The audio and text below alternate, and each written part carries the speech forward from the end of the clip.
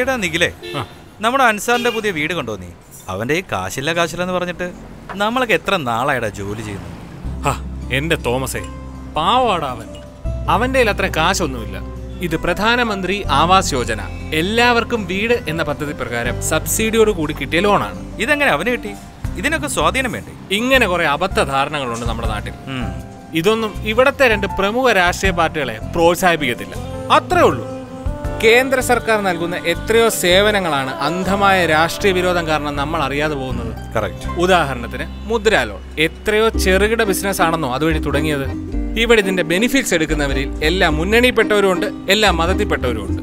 പക്ഷേ അത് പുറത്തു പറയുന്നില്ലെന്ന് മാത്രം. സോ രാഷ്ട്രീയമാണോ? രാഷ്ട്രമാണോ? ചോയ്സ് അത് നമ്മുടേതാണ്. അതെ. രാഷ്ട്ര നന്മയ്ക്കായി ജനനന്മയ്ക്കായി അണിചേരൂ ബി ജെ പിക്കൊപ്പം പുതിയ കേരളം മോദിക്കൊപ്പം.